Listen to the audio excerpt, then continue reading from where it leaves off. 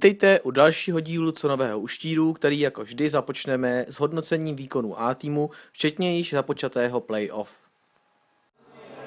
Řekl bych, že po novém roce se nám moc nedařilo, a, nebo respektive nedařilo se nám tak podle představ, protože jsme skončili v tabulce až šestý, a, s čímž ne, jsem nebyl úplně spokojený, chtěl jsem být v horní polovině tabulky, v první čtyřce, nebo ještě lépe trojce, takže šestý místo bylo mírný zklamání, řekněme, nebo ne zklamání, ale nebylo to podle představ.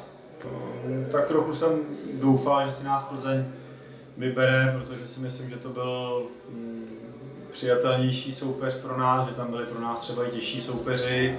A, takže z tady toho pohledu jsem byl rád, myslím, že tým si na ní věřil, na, na Plzeň a, a vyřadili jsme ve třech zápasech.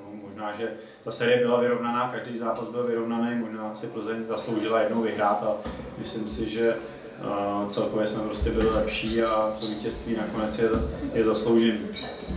Jak uh, vidíš sérii s Královým dvorem dál?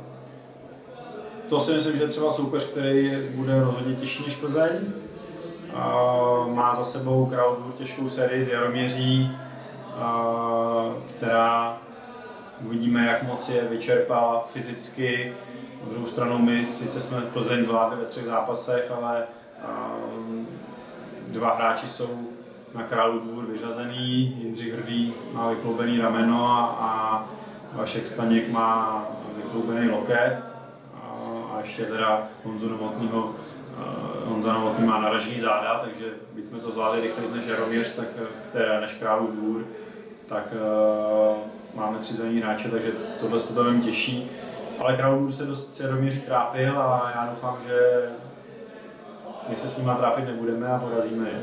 Myslím si, že fyzicky jsme na tom podobně, jako jsme byli loni, možná trošku líp, ale myslím si, že poslední rozdíl je v tom, že jsme na tom mnohem líp psychicky, kdy loni jsme měli těžkou sezónu, museli jsme vyhrát základní část, aby jsme vůbec postoupili do play takže každý zápas jsme museli vyhrát, teď díky tomu, že se hraje playoff, nemuseli jsme být první, šli jsme až ze šestého místa, tým je mnohem psychicky na to připravenější, na to playoff a na ty rozhodující fázy. Čím bys přilákal nebo pozval diváky na semifinále a případně další série playoff? Plzní jsme všechny tři zápasy otáčeli ve třetí třetině, vždycky to bylo velký adrenalin, velký drama a myslím si, že to byla nejlepší pozvánka na to, aby přišli na Králu dvůr, kdy nevynecháme zase ani jeden souboj a předvedeme kvalitní výkon. A třeba to zase otočíme v závěru a, a to euforie je pak obrovská. Tak díky a ať se daří. Díky. B týmu patří v 11 člené tabulce regionální ligy mužů 8. místo, nedaří se ale juniorům, kteří jsou ve druhé lize juniorů na posledním 11. místě. I dorostenci již definitivně přišli o šanci postoupit ve své první lize dorostenců do playoff.